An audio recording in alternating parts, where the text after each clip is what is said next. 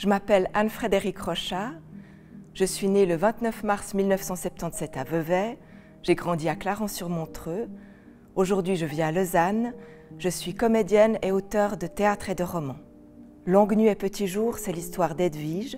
Elle se rend pendant l'été dans un chalet de montagne prêté par une amie.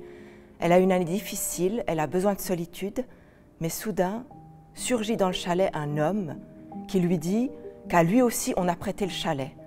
Un des thèmes principaux de Longue Nuit et Petit Jour, c'est la perte euh, d'être cher. J'ai eu envie de travailler sur la violence de toutes ces séparations, que ce soit liées à la mort ou à une rupture amoureuse. Tout d'abord, j'écris parce que j'ai une passion des histoires. Et écrire, pour moi, c'est aussi essayer de comprendre le monde qui m'entoure, donner du sens ou, euh, ou peut-être plutôt apprivoiser le non-sens.